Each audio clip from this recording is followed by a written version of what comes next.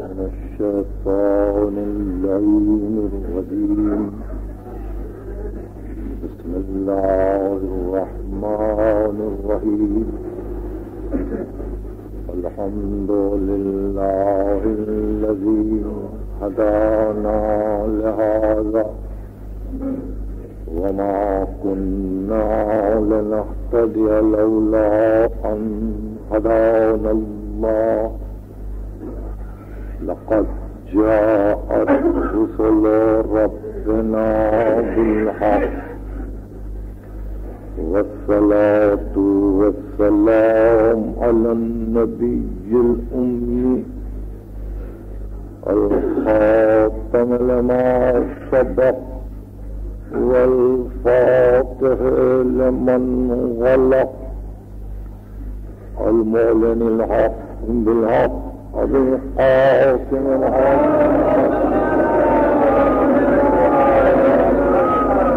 أهل بيته الطيبين الطاهرين المعصومين المظلومين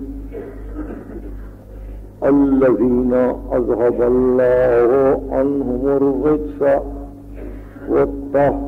وطهرهم تطهيرا.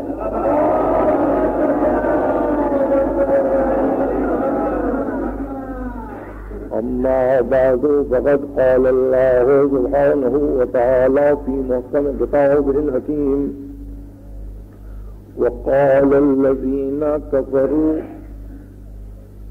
إن هو إلا إفك افتراه وعانوا عليه قوم آخرون فقد جاءوا ظلما وزورا. وقالوا أساطير الأولين اكتتبها فهي تملى عليه بكرة واسيلا صلوات.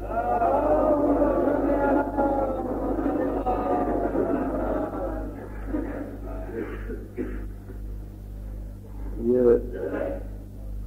سورہ فرقان کی آیت ہے۔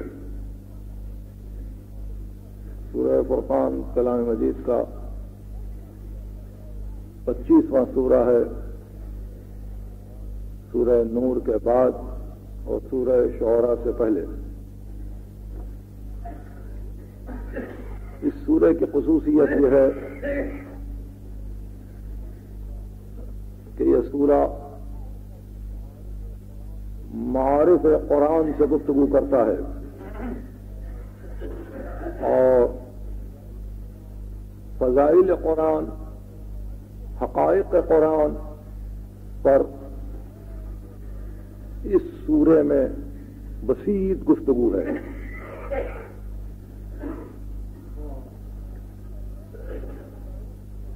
ابتدائی سورے ہی میں یہ آیت ہے، غالباً یہ چوتھی آیت ہوگی۔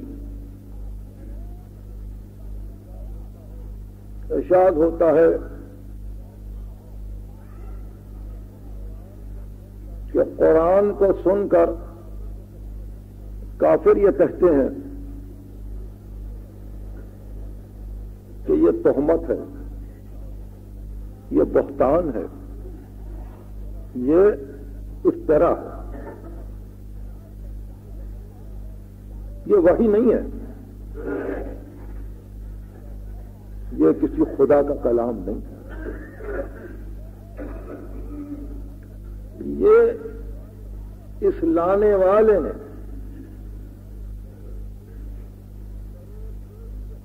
درو گوئی کے ساتھ اس کو اللہ کی طرف منسوخ کر دیا ہے۔ ان ہوا اللہ اف کو نف تارا یہ اس طرح پردازی ہے۔ تہمت ہے۔ اس نے ایک سازش کی ہے اور ایک کلام کو وہ اللہ کی طرف منسوخ کرتا ہے۔ وہ آنہ علیہ قوم آخرون۔ اور ایک اور قوم ہے اس کے ساتھ ساتھ جو مسلسل اس کی مدد کیے جا رہی ہے۔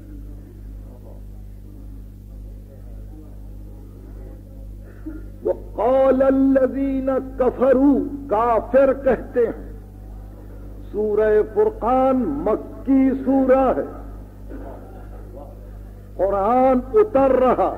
کافر کہتے ہیں کہ یہ افطرا ہے۔ یہ اکیلے کا کام نہیں ہے۔ کہ قوم اس کی مدد کر رہی ہے۔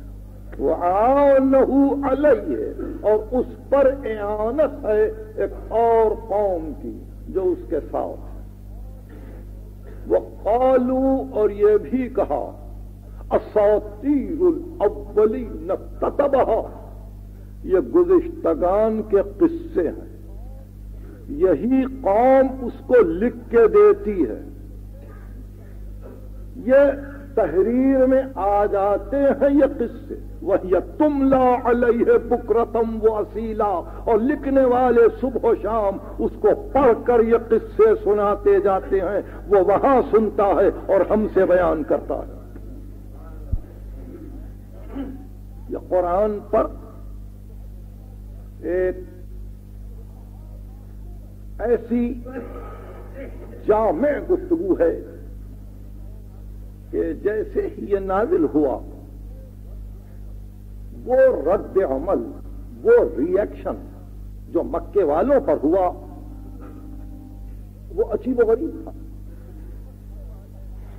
مکے والے اپنی جاہلیت کے پورے ادب کے ساتھ، جس کو مقزرمی ادب کہتے ہیں، اس پوری قوت کے ساتھ۔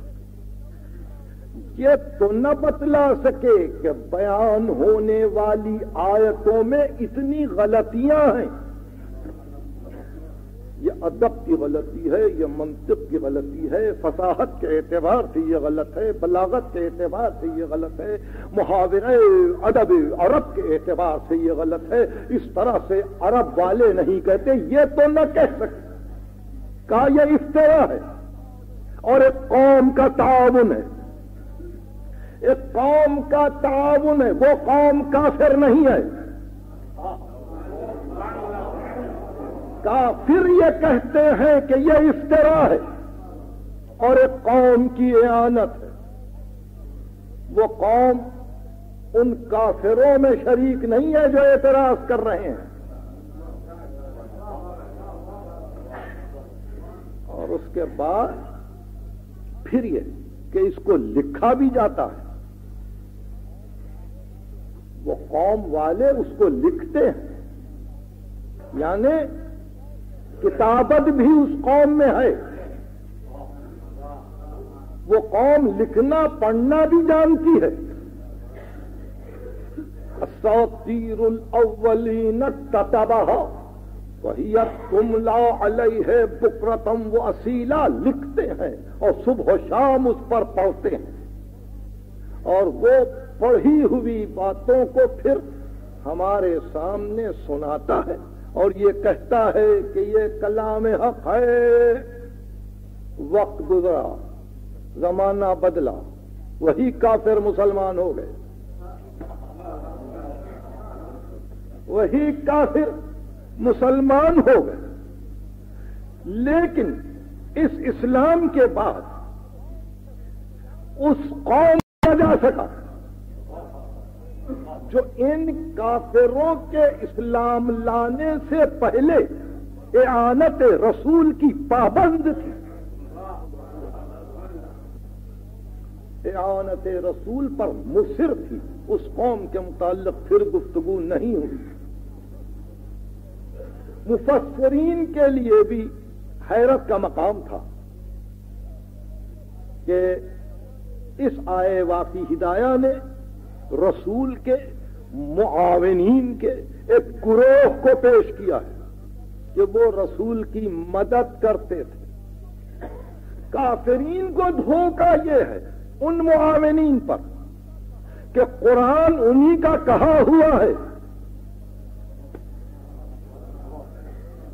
یعنی ان معاونین کے ذوق ادب کی داد اس طرح سے مل رہی ہے۔ ان کی معرفت لغت پر سند یہ ہے کہ اگر وہ کہہ رہے ہیں تو اس میں کوئی عیب نکالا نہیں جا سکتا۔ مگر یہ کہ یہ کہنا کہ یہ اللہ کا کلام ہے، یہ افطرا ہے۔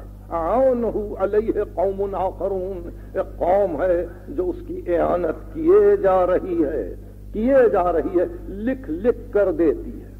لکھ لکھ کر دیتی اس موقع پر دو باتیں سمجھ میں آئیں۔ وہ یہ کہ نزول قرآن کے وقت، نزول قرآن کے وقت ہم یقیناً ایک اس ہستی کا تو تعارف کروا سکتے ہیں کہ جو قرآن کو پڑھ رہا ہے، سنا رہا ان ہستیوں کا بھی تعارف ہو سکتا ہے جو رسول کی مدد کر رہے تھے۔ ایک ہے خود قرآن اور ایک ہے وہ کافروں کا گروہ جو تسلیم نہیں کرتا۔ تسلیم نہیں کرتا۔ جس وقت قرآن نازل ہو رہا تھا اور کفار اعتراض کر رہے تھے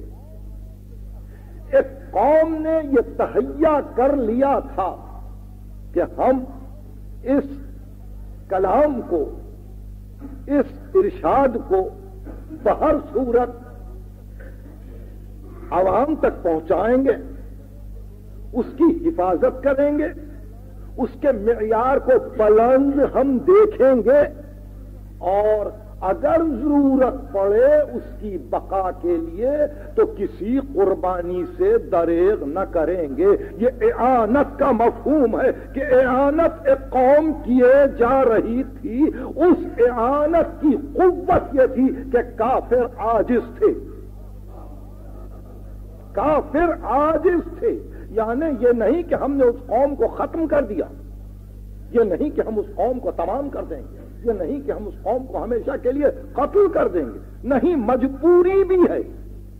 مجبوری بھی ہے کہ اس طرح ہے، کوئی قوم مدد کر رہی ہے۔ کوئی قوم مدد کر رہی ہے۔ پورے کافر ایک طرف ہے جہاں حلف نامے ہیں، جہاں ایک قبیلہ دوسرے قبیلے کا حلیف ہے، جہاں تمام اپنے آپ کو معاہد سمجھتے ہیں۔ معاہدوں کے ساتھ دوستی ہے۔ لیکن یہ قوم ایسی ہے کہ جس کے ساتھ نہ کسی کا حلف نامہ ہے، نہ کسی کا معاہدہ ہے، نہ کسی نے نصرت کا وعدہ کیا ہے، نہ کسی نے مدد کے لیے اعلان کیا ہے کہ ہم مدد کریں گے۔ مگر پھر بھی وہ قوم اتنی قوی ہے کہ متحدہ طور پر کافروں کی قوت اس قوم کو اعانت رسول سے روک نہیں سکتی۔ یہ ایک منزل فکر۔ اس مقام پر قرآن مجید نے جب اس لفظ کا تذکرہ کر دیا کہ کوئی رسول کی مدد کر رہا تھا اس وقت جبکہ کافر اعتراض کر رہے تھے۔ تو آپ نام پہلا کون سا لیں گے؟ اس قوم کے لیے اگر کوئی گروہ ہے، کوئی معاشرہ ہے، کوئی انجمن ہے، کوئی جمع کی تعداد ہے، تو پہلا نام کس کا ہوگا؟ پہلا نام ہوگا ابو طالب. ابو طالب اس قوم میں سے ہے. وہ قول الذین کفروا ان ہوا اللہ افکو نفتراہ وہ علیہ قوم آخرون. ایک قوم ہے جو رسول کی مدد کر رہی ہے. اول القوم ابو طالب.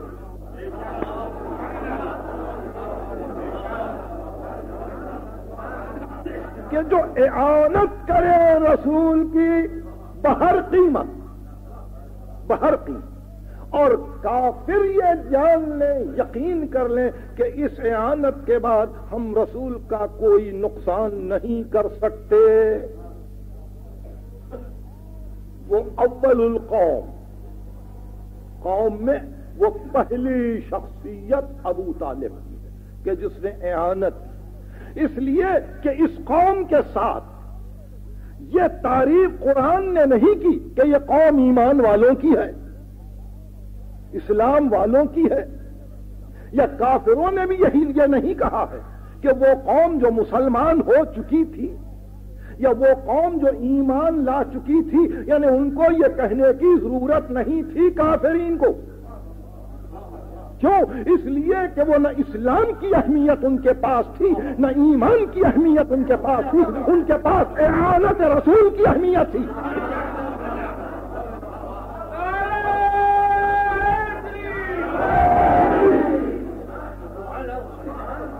ان کے پاس اعانت رسول کی اہمیت تھی کہ یہ ہے مددگار، یہ ہے معاون رسول۔ کفار مکہ کے پاس ان کی اعانت وہ صفت تھی کہ جس صفت کی بنا پر وہ اس قوم کو اس ممتاز مقام پر دیکھ رہے تھے کہ جہاں ان کو شبہ ہو رہا تھا کہ یہ قرآن ان کا کلام ہے یا اس لانے والے کا کلام ہے یا خدا کا کلام ہے۔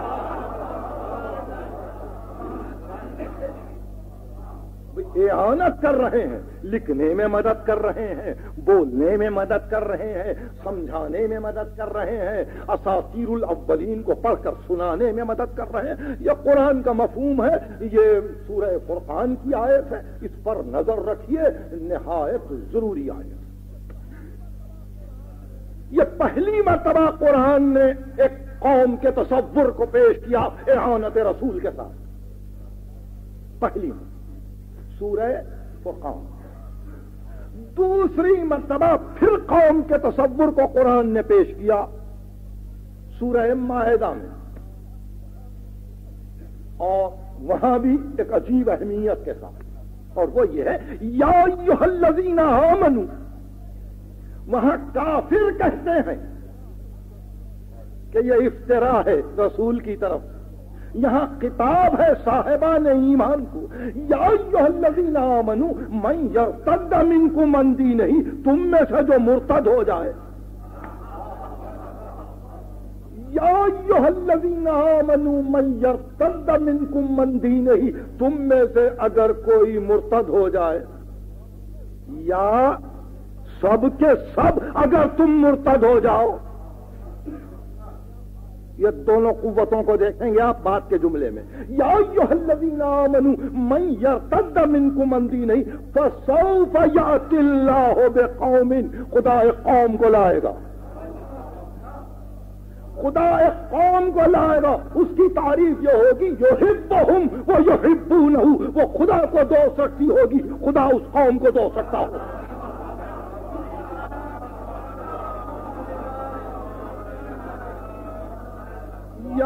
الذين آمنوا، من يرتد منكم عن دينه، فسوف يأتي الله بقوم يحبهم ويحبونه. أذلة على المؤمنين، عزة على الكافرين. ان کی صفت یہ ہے کہ صاحبان ایمان کے سامنے، وہ خضو و خوشو کے ساتھ ہوں گے۔ کفر والوں کے لیے وہ سربلند ہوں گے۔ وہ مقام علو پر ہوں گے۔ یجاہدون فی سبیل اللہ اللہ کی راہ میں جہاد کرنے والے ہوں گے۔ اب اس قوم کی تعریفیں سنیے۔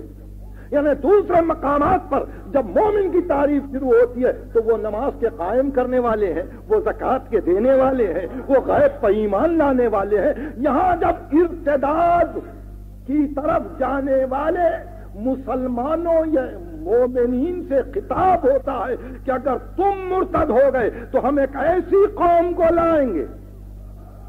جہاں نہ نماز کی گفتگو ہے، نہ روزے کی گفتگو ہے، نہ زکات کی گفتگو ہے۔ گفتگو یہ ہے کہ وہ ایسی قوم ہوگی جس قوم کو خدا دوست رکھتا ہوگا، جو قوم خدا کو دوست رکھتی ہوگی۔ وہ کافروں کے سامنے سر بلند ہوں گے، مومنین کے سامنے خزو و خوشو کے ساتھ سرنگو ہوں گے۔ ان کی صفت یہ ہوگی کہ اللہ کی راہ میں جہاد کرنے والے ہوں گے۔ یجاہدون فی سبیل اللہ۔ اور آخری صفت یہ لاؤ یقافون لومت لائم۔ جن کو کوئی ملامت کرنے والے کی ملامت ڈرا نہ سکے۔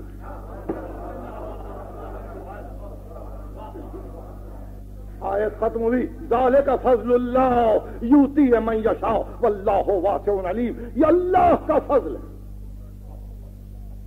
جس کو خدا دے یوتی ہے میں یشا وہ خدا جس کو عطا کر واللہ واسع علیم۔ خدا علم والا ہے، وسعت دینے والا ہے۔ فکر میں، شعور میں، سوچنے کے طریقوں میں، علم میں، واللہ واسع علیم، یہ دوسرا مقام ہے جہاں یہ بتلایا گیا کہ ہم ایک قوم کو لائیں گے۔ ایک وہ قوم جس نے احانت رسول کی۔ ایک وہ قوم کے جو اس عالم ارتداد میں ضرورت بن جائے گی کہ جس کا آنا ضرور ہے، جس کا آنا ضرور ہے۔ اور اس کے بعد اس کے بعد ایک عجیب منزل پر اپنا تعارف کرواتے ہوئے امیر المومنین نے یہ ارشاد فرمایا۔ اپنا تعارف کرواتے ہوئے، بغیر آپ کا وقت لیے اور بغیر کسی صعوبت فکری کے اپنا تعارف کرواتے ہوئے امیر المومنین نے کہا، انی لمن قوم میرا تعلق اس قوم سے ہے۔ لا تاخذهم فی اللہ لومت العین جس کو کسی ملامت کرنے والے کی ملامت ڈرا نہیں سکتا۔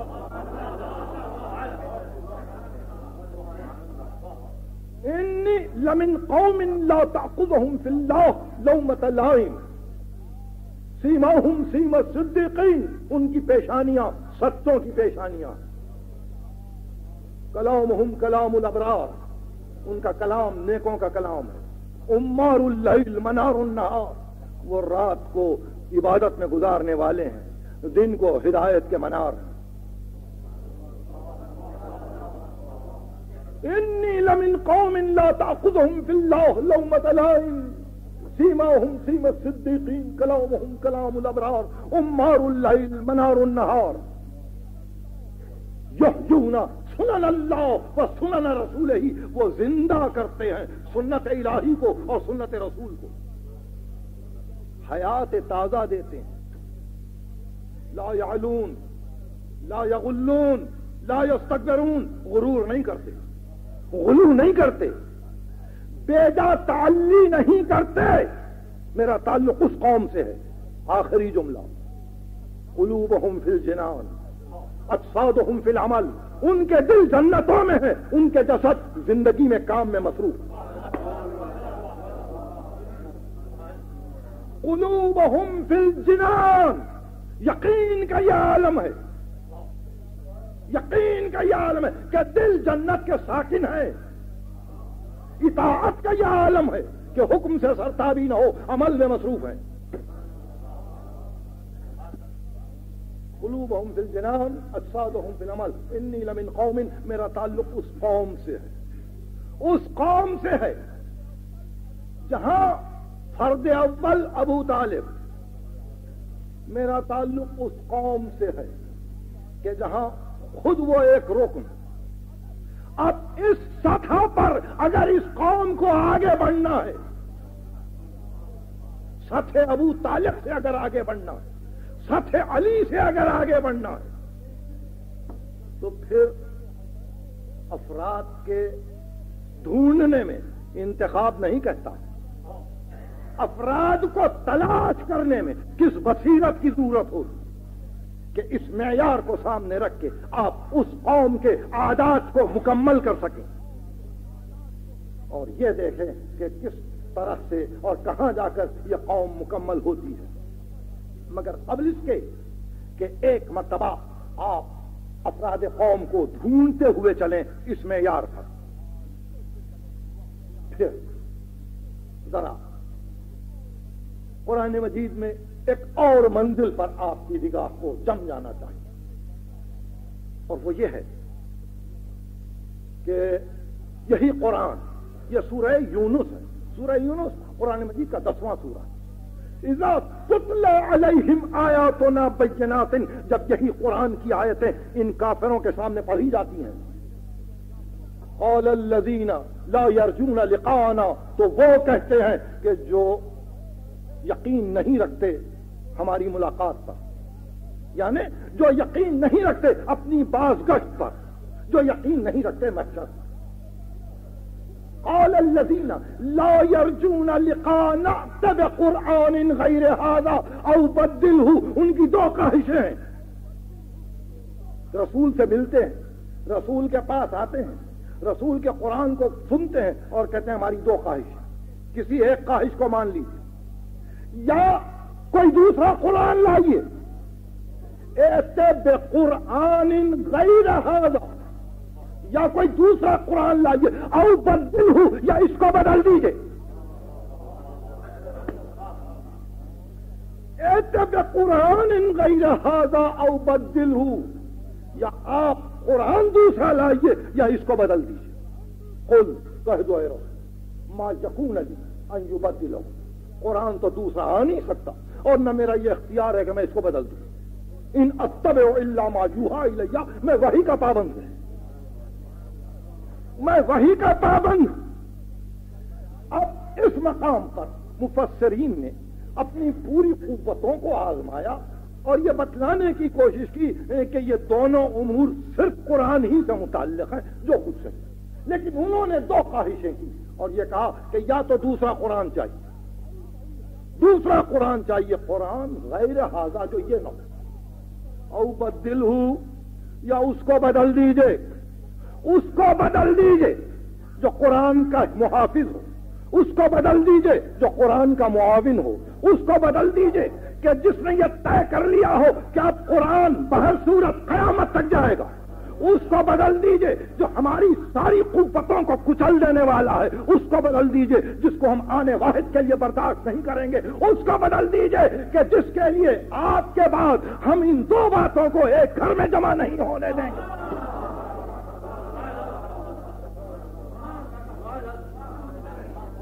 بدل ہوں۔ بدل دیجیے۔ بھئی یہ اس لفظ بدل ہوں پر اب ہم غور کرتے ہیں۔ ارشاد ہوا کہ یہ انسانی فطرت کا تقاضا ہے کہ انسان نعمتوں کا جب عادی ہو جاتا ہے تو وہ اداس ہو جاتا ہے تھک جاتا ہے۔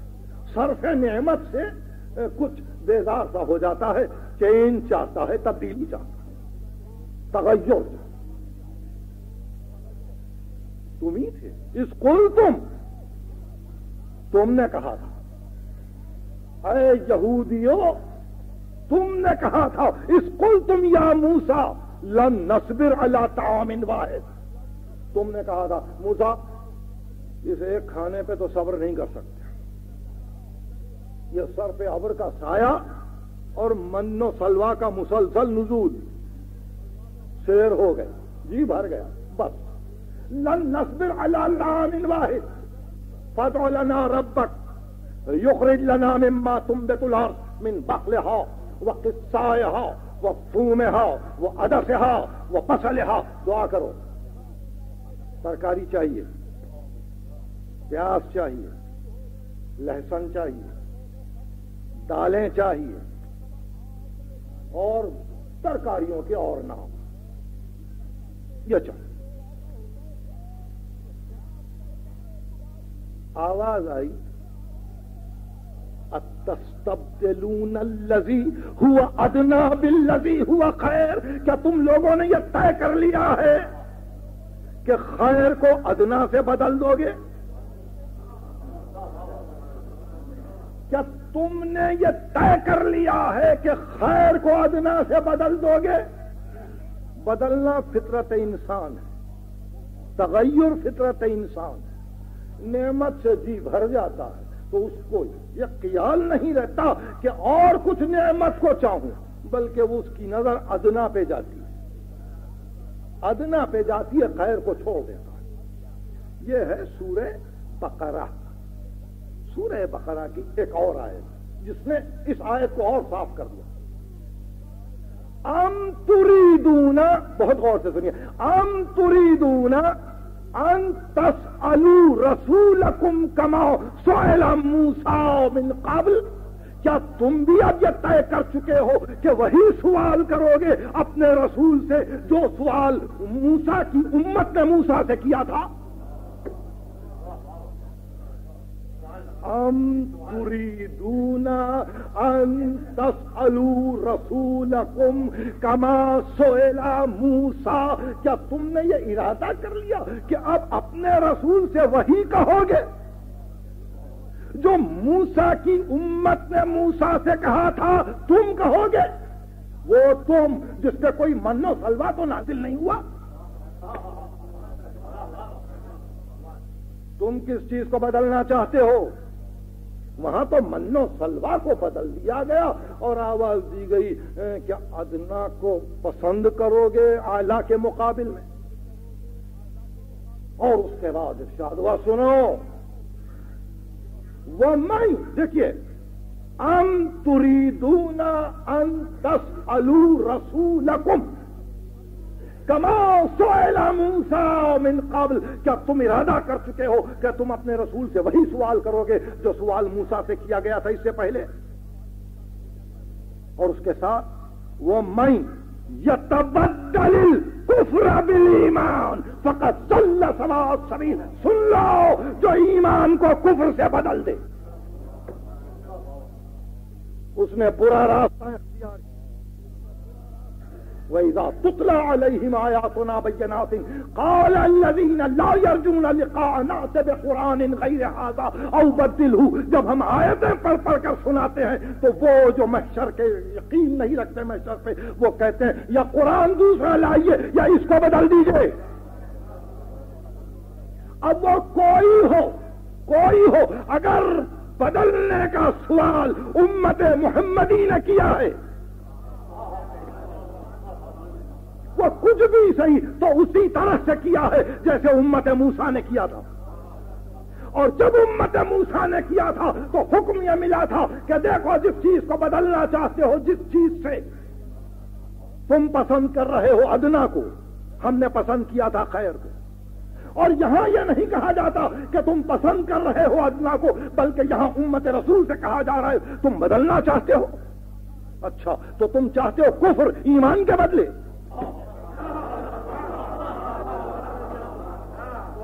وہاں من و سلوا خیر ہے۔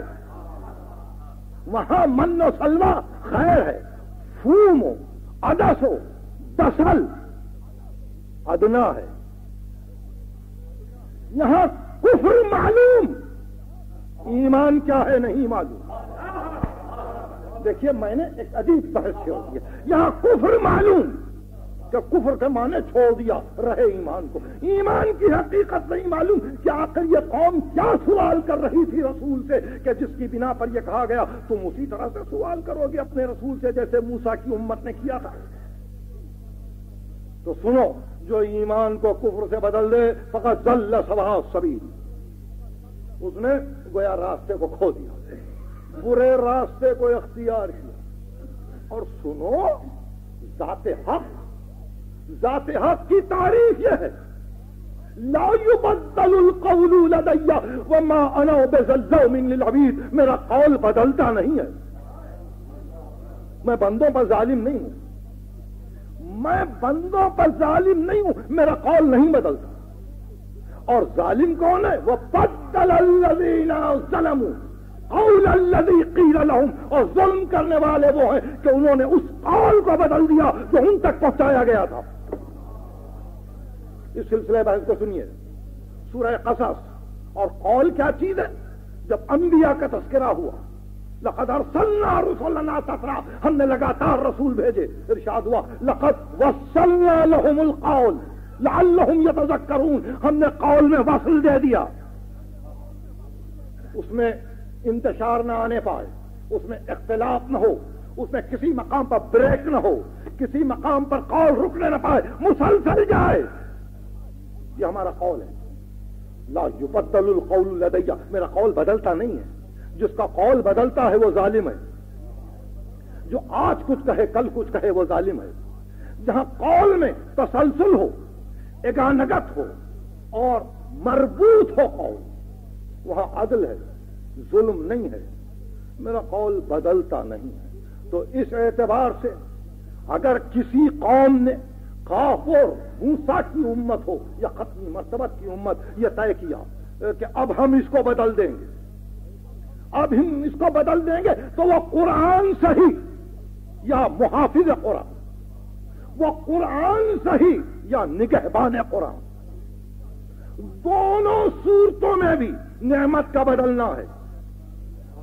بہت غور سے سنی نعمت کا بدلنا ہے اور نعمت کے بدلنے کا انجام الم ترا الزین بدلو نعمت اللہ ہی کفرا وہ اہلو قومہم دار البلار حبیب تو نے دیکھا کہ انہوں نے نعمت الہی کو کفر سے بدل دیا۔ نتیجہ یہ ہوا کہ پوری قوم کو جہنم کے کنارے پر پہنچا دیا۔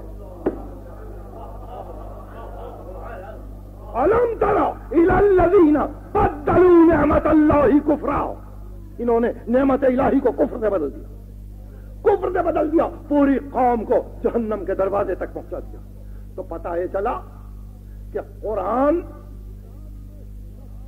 کی تبدیلی، قرآن کا تغیر پہلے دن کا تقاضا تھا، پورا نہ ہو سکا۔ پورا نہ ہو سکا۔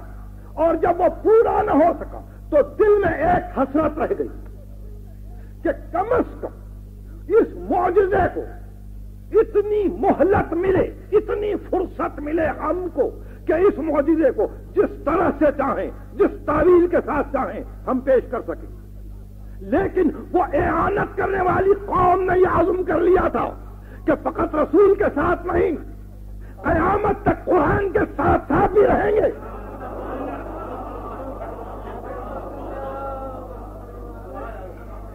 تاکہ کسی کو کسی کو اپنے مطلب کے ساتھ قرآن کو ڈھالنے اپنے مطلب پر قرآن کو مولڈ کرنے کا موقع نہ ملے۔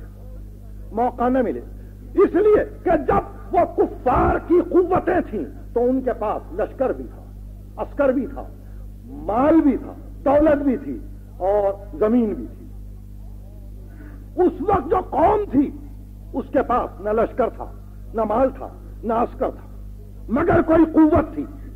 مگر کوئی قوت تھی جس سے کفار کی قوت آجز تھی۔ اب یہ قوم قیامت تک جائے گی۔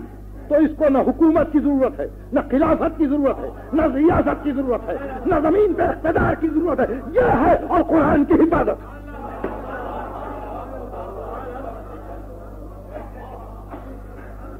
بھائی، اب ان مسائل پہ کافی غور و خوف کی ضرورت ہے۔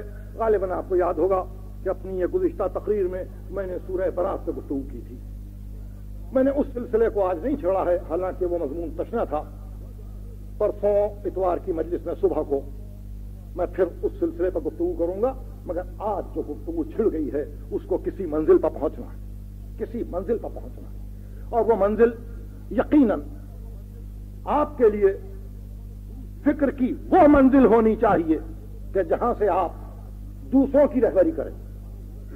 اور خود آپ غور کریں۔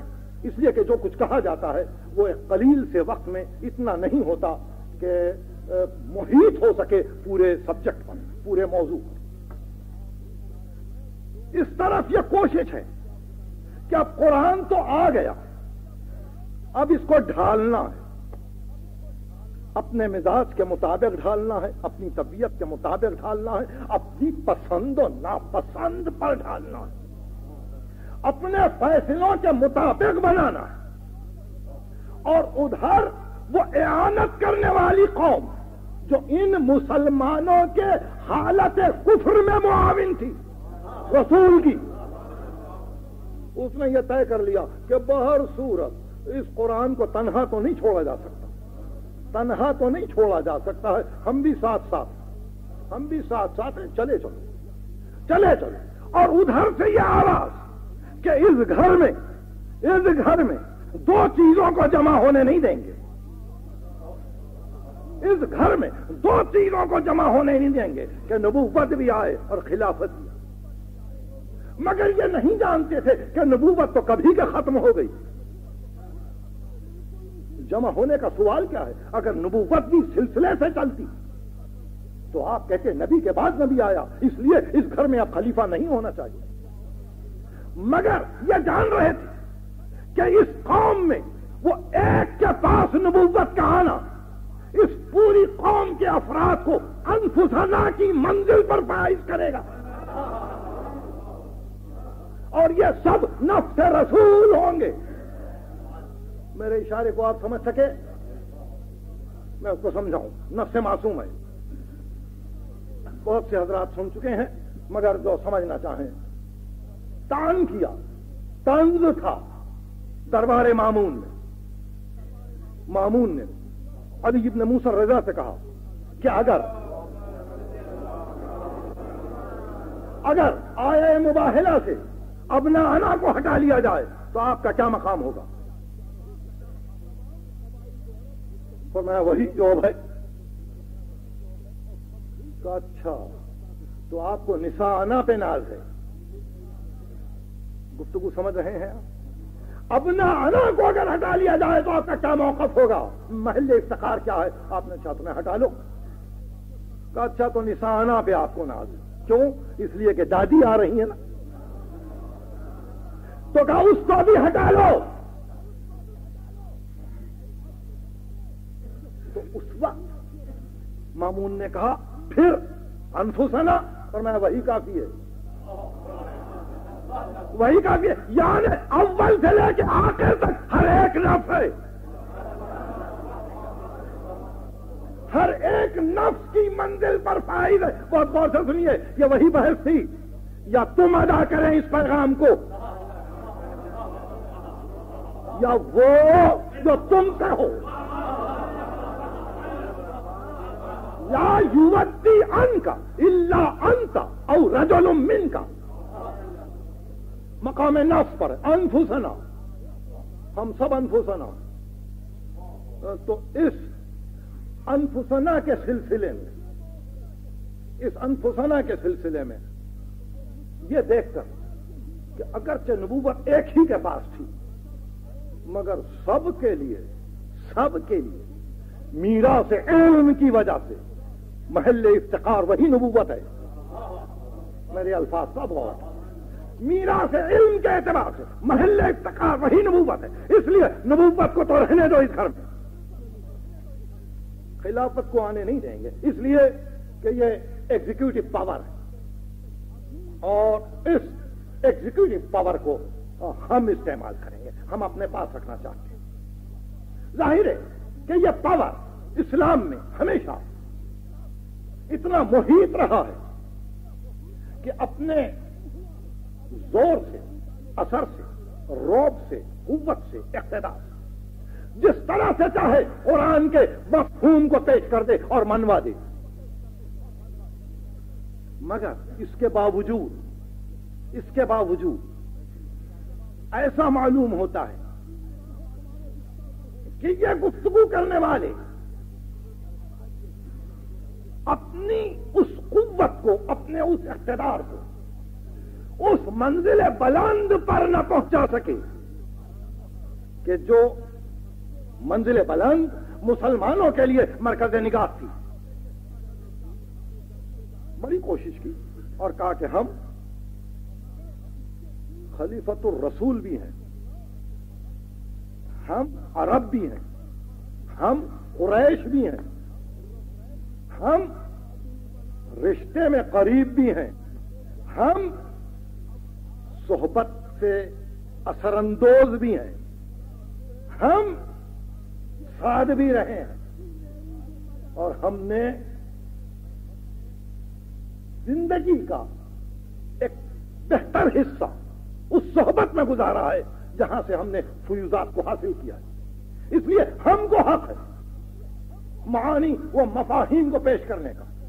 قوم نے کہا، جب تک جیو پیش کرو بھائی بہت سننے کے بعد جب تک جیو پیش کرو، ہم فیصلہ نہیں دیں گے۔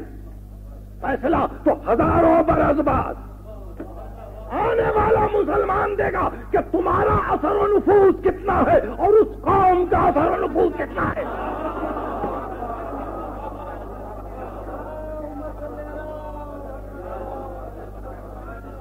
میں سمجھتا ہوں کہ گفتگو اس موڑ پر ہے کہ جہاں سے طوالت کلام کو روکتے ہوئے میں آپ کے قوت فیصلہ پر اس مضمون کو چھوڑ اور آپ اس پر غور کریں۔ لیکن چونکہ اب گفتگو یہاں پہنچی کہ تم جیو، استعمال کرو اس قوت۔ فیصلہ بعد میں ہوگا۔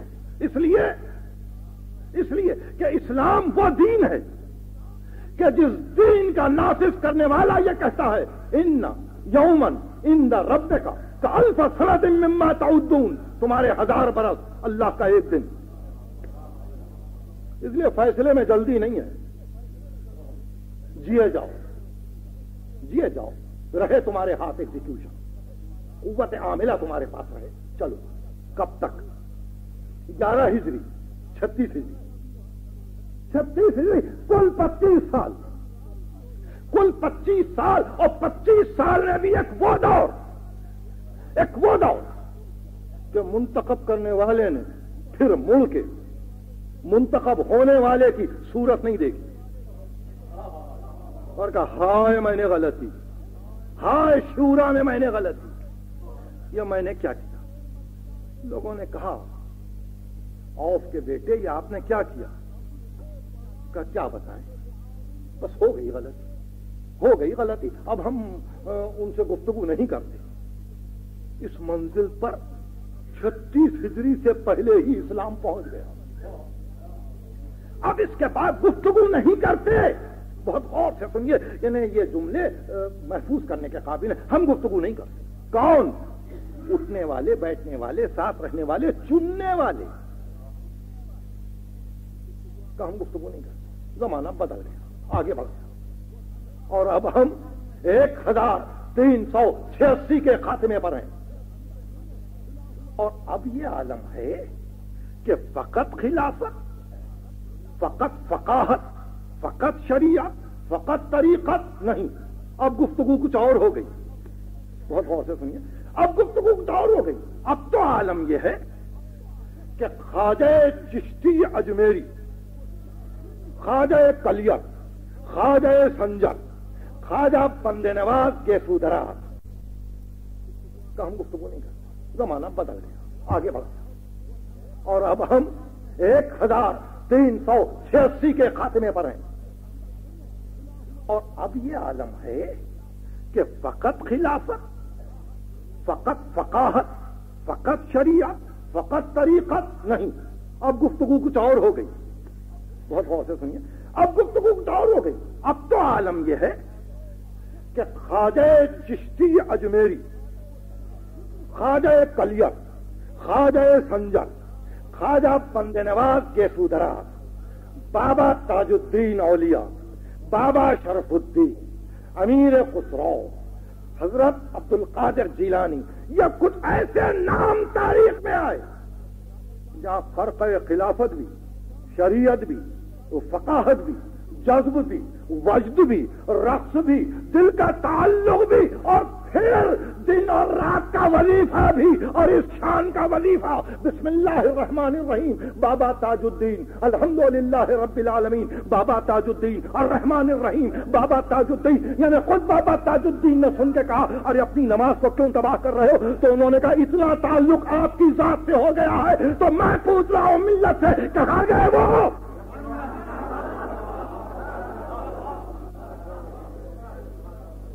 بھائی، جن کے لیے یہ ہنگامہ آ رہی ہے کہ آپ احترام نہیں کرتے۔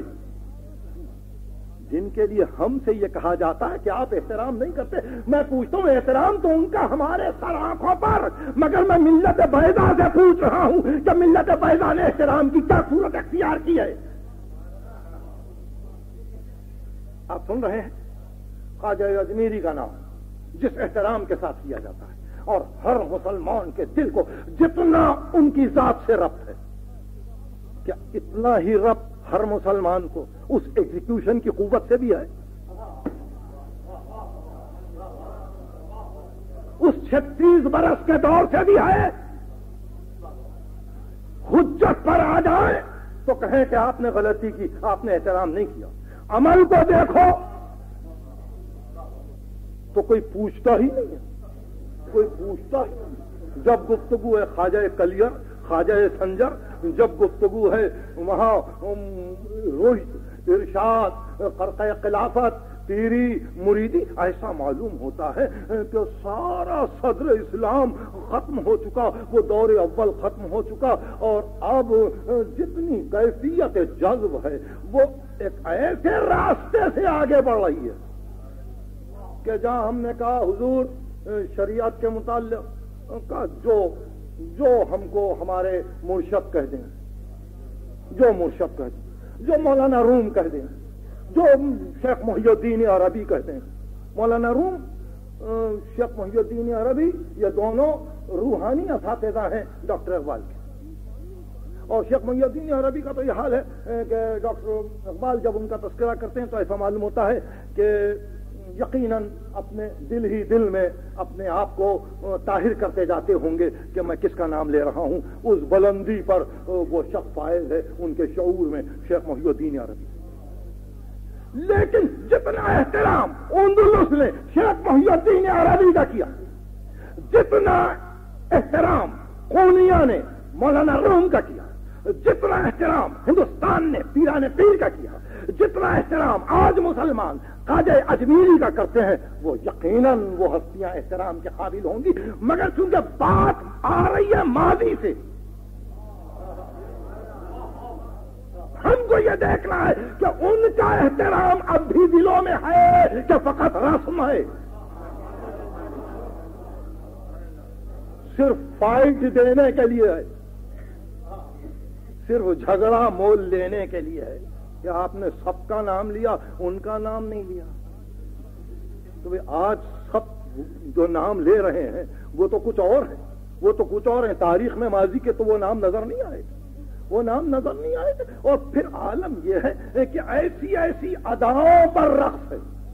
ایسی ایسی اداؤں پر کہ دل ہی جانتا ہے۔ اور اگر وقار ممبر مانے نہ ہوتا، تو وہ تمام اشعار پڑھ کے سنائے جاتے کہ جہاں ایک کیفیت تاری ہوتی تو پتا چلا پتا چلا کہ اس جذب کی کیفیت کو پیدا کرنے میں یا تو ان ہستیوں نے واقعی بڑا حصہ لیا جن کا نام آج زبان زد خاص و عام ہے، یا پھر یہ کہ ان ہستیوں نے، ان ہستیوں نے کسی گھرانے سے اپنے ارتباط کو پیش کیا۔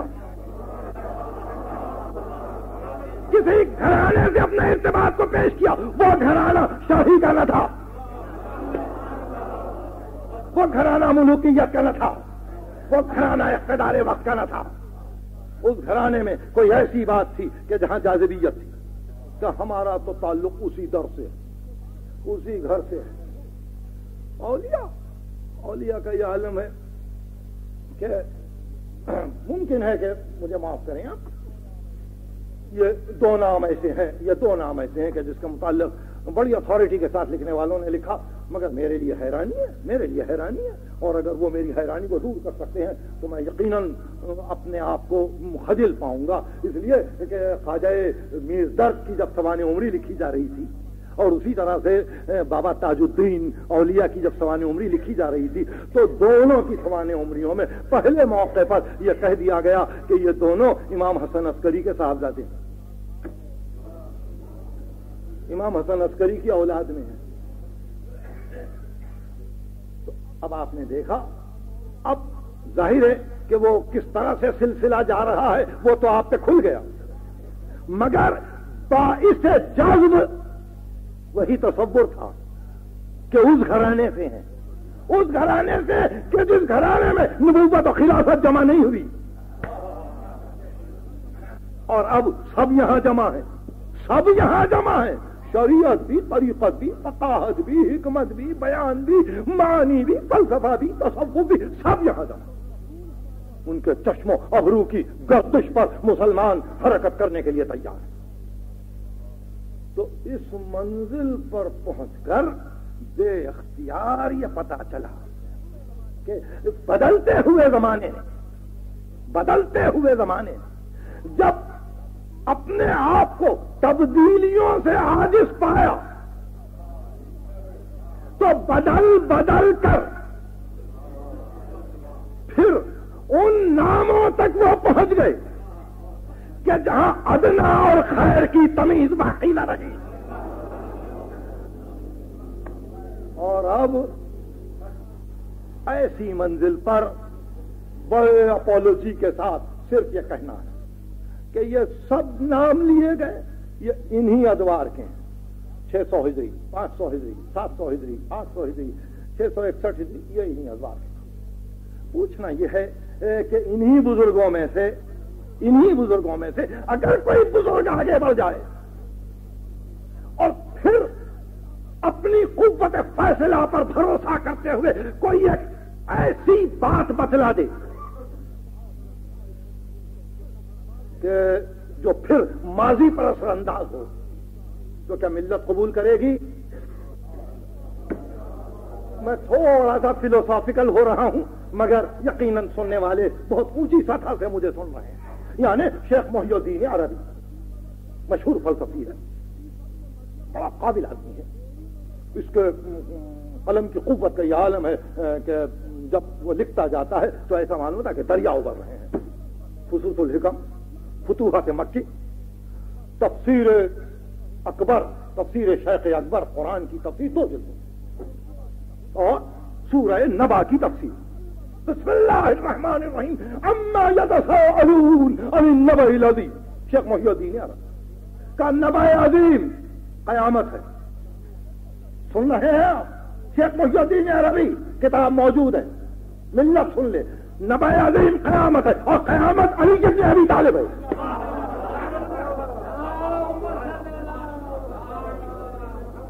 میں سمجھ نہیں سکا. میں سمجھ نہیں سکا. نہ میری سمجھ میں آئے نہ میری سمجھ میں آئے میں صرف نقل قول کر رہا ہوں۔ محی الدین اور ابھی تفسیر شیخ اکبر، جلد دوم نو عظیم کی تفسیر نو عظیم قیامت۔ اور قیامت علی ابن ابی طالب۔ اور وہ مقام جمع بعد الفصل کا ہے۔ وہ مقام جمع بعد الفصل کا ہے۔ یعنی جدائی کے بعد پھر وصال۔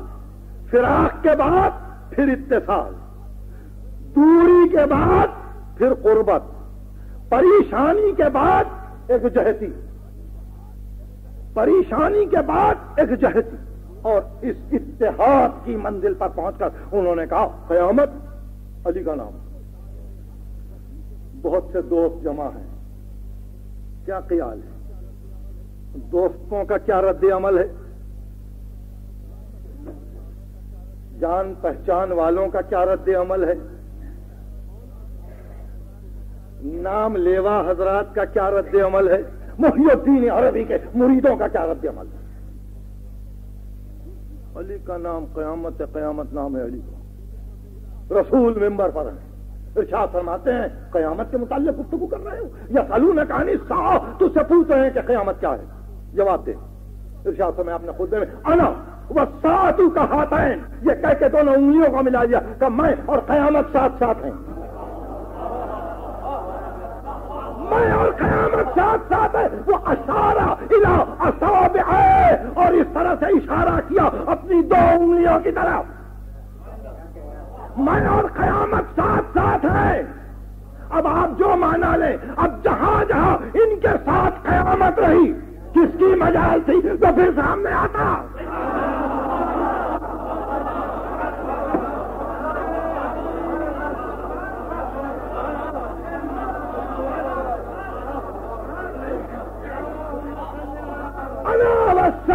کہا وہ اشارہ ہے۔ اپنی دو انگلیوں کی طرف اشارہ کیا اور کہا، میں اور قیامت تو ساتھ ساتھ ہے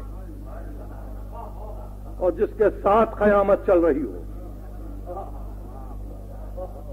کسی کی مجال جو مقابل پر ہے فقط یہی کہتے ہیں، یہی کہتے ہیں ہوا اللہ، اس کو نفترا ہوں، وہ آن علیہ قوم نہ نام نہیں لیتے۔ کہتے ہیں قوم ہے جو مدد کر رہی ہے۔ ایک قوم ہے جو مدد کر رہی ہے۔ ہجرت کی رات، بدر میں عہد میں، خیبر میں قندق میں مباہلے میں، برات کی منزل پر جہاں مصیبت آئے، وہ آگے۔ وہ آگے ہے۔ نہیں، قیامت ہے۔ قیامت ہے۔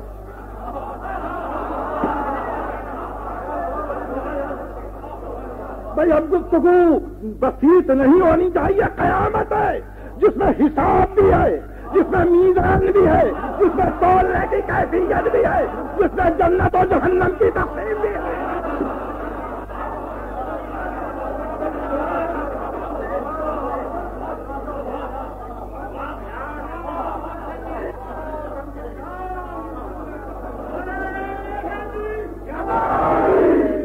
معلوم نہیں۔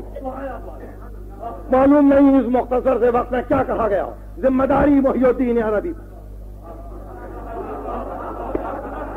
ذمہ داری محی الدین عربی پر، مگر حدیث رسول صحیح بخاری شریف میں ہے، صحیح مسلم میں ہے، اصول کافی میں ہے۔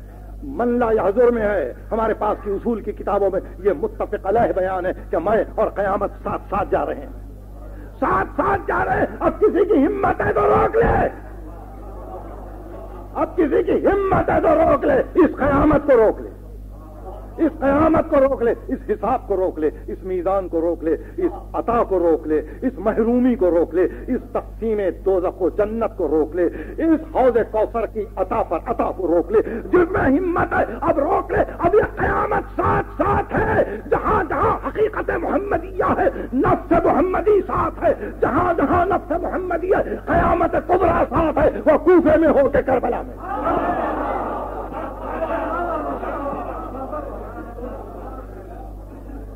معرفت کی اس منزل پر پہنچ گئے۔ کربلا قیامت ہے۔ منظر قیامت تقسیم ہے۔ تقسیم عمل ہے۔ حساب ہے۔ احتساب ہے۔ میزان ہے۔ کربلا آراف ہے۔ اب میں قیامت کے متعلق جتنی آیتوں کی تلاوت کر سکتا ہوں۔ میں کیا کروں؟ قرآن کے پڑھنے والے خود سوچ رہے ہوں کہ قیامت کی کیا کیا صفت ہے اور قیامت کبرا کا کیا مقام ایک منزل۔ وہ رجال قیامت میں کچھ بلندیاں ہوں۔ بلندیوں پر مردان خدا ہوں گے۔ وہ الل آراف رجال. یارفون کلن بسیماہم ایک ایک کی پیشانی کو دیکھ کے پہچان لیں گے. یہ دوست ہے، یہ دشمن ہے. یہ دوست ہے یا دشمن ہے. ایک ایک کی پیشانی کو دیکھ کے پہچان لیں گے. اب وہ جمل ہو تو صرف مالک اشتر نے کہا، اپنے دل میں تلوار برابر چل رہی ہے۔ تلوار برابر چل رہی ہے۔ ملک کا اکفر تبادل ایمان ایمان کے بعد کافر ہو گیا ہے۔ تو رد و یاب اس کو کاٹ رہا ہے۔ میں نسلوں میں دیکھ رہا ہوں کہ میرا کون ہے۔ دوسرا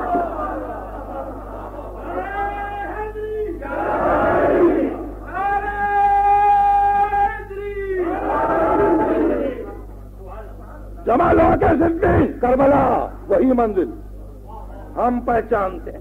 ہم پہچانتے ہیں، بیعت اٹھا لی۔ بیعت اٹھا لی، تم ہم سے نہیں ہو۔ جاؤ۔ جاؤ تاریخ یہ شب ہے، چلے جاؤ۔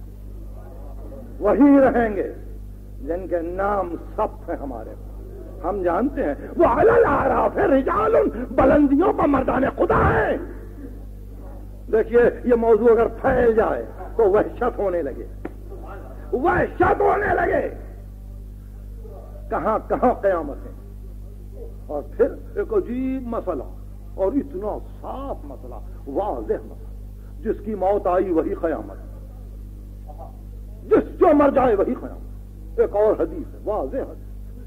آنے والی قیامت تو یقینی ہے، مگر جس کی موت آ جائے وہی قیامت۔ اور پھر جو موت کے قریب ہو جائے، وہ قیامت کو دیکھے۔ وہ قیامت کو دیکھے۔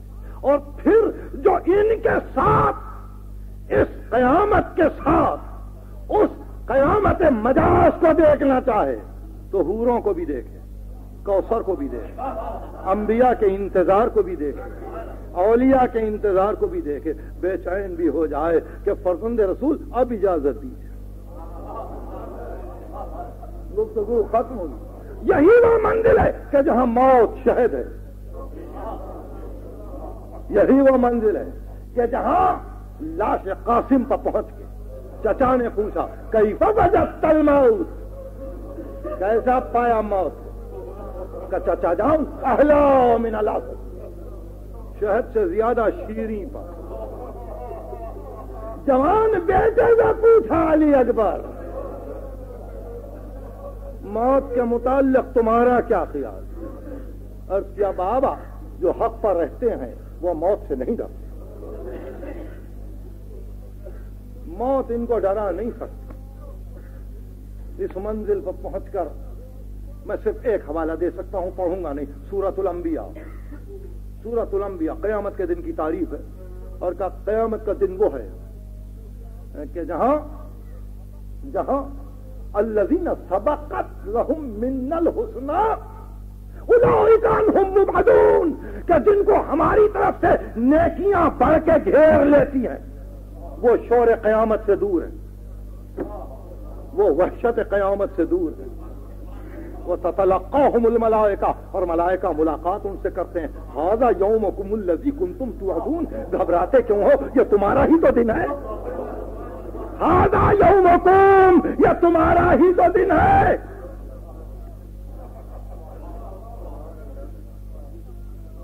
میں اس لفظ کی تشریح کے لیے آپ کے دماغ سے اپیل کروں، دنیا یوم مناتی ہے۔ یہ ان کا دن ہے، یہ ان کا دن ہے، یہ ان کا دن سورت الانبیاء میں جن کو نیکیاں بڑھ کے گھیر لیتی ہے، ملائکہ ان سے مل کے کہتے ہیں، قیامت یہ تمہارا دن ہے۔ ہاضا یوم کو ملزی کن تم تو یہ تمہارا دن ہے. تمہارے لیے شور محشر کہاں ہے؟ تمہارے لیے وحشت محشر کہاں ہے؟ کچھ نہیں. سکون کال سکون کی دنیا.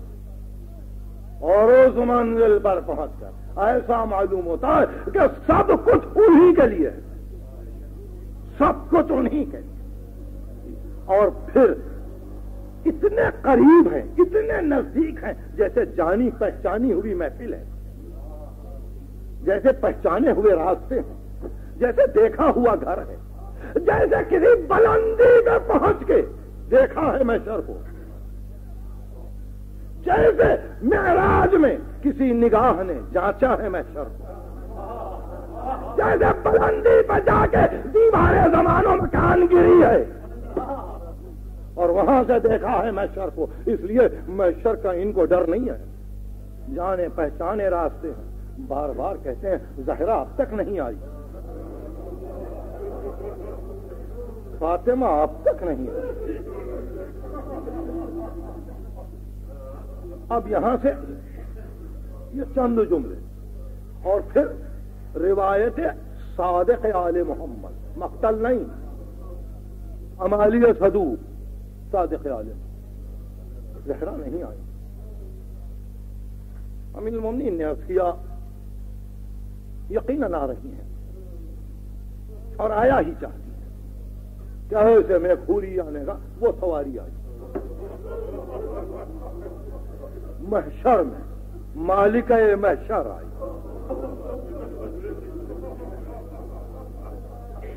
وہ سواری آئی اور رسول تعظیم کو کھڑے ہو میری تقریر کے اجزاء تمام میری آنکھوں کے سامنے ہیں۔ لولا ابنا آنا لولا نسا آنا مامون نے کہا تھا، اگر اپنا آنا نہ ہو، اگر نسا آنا نہ ہو۔ اب یہ سب انفسنا ہے اب یہ سب انفسنا ہے زہرا آئی، رسول تعظیم کو کھڑے ہو فقط مسجد میں نہیں، محشر میں۔ اور آگے بڑھ گئے۔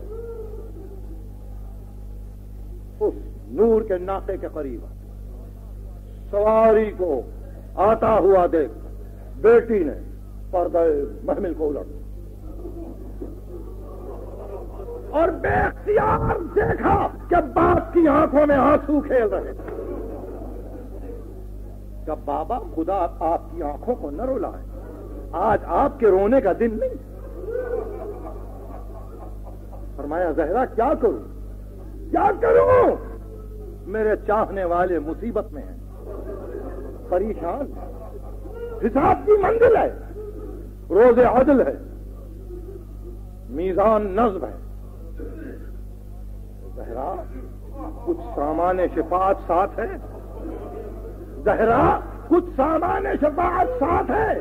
یہ آخری جملہ بے اختیار کا بابا کفانا لشفاعت یدان مختو اٹانے ولدی العباس۔ بابا شفاعت کے لیے کافی ہے۔ میرے لیے، میرے بیٹے، عباس کے تو کٹے ہوئے ہاتھ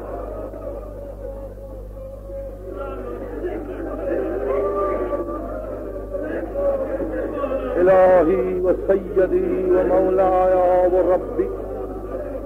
خدا بندہ ایک ہم کو کامل الایمان کر۔ ہمارے ہوائج دینی و دنیاوی بدلا ہمارے اموات کو بخش دے۔ ایک مرتبہ سورہ حمد اور تین مرتبہ سورہ اخلاص۔